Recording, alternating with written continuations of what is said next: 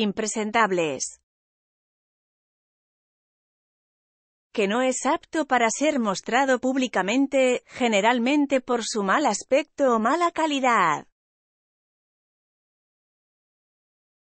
Persona que carece de educación y no sabe comportarse en público.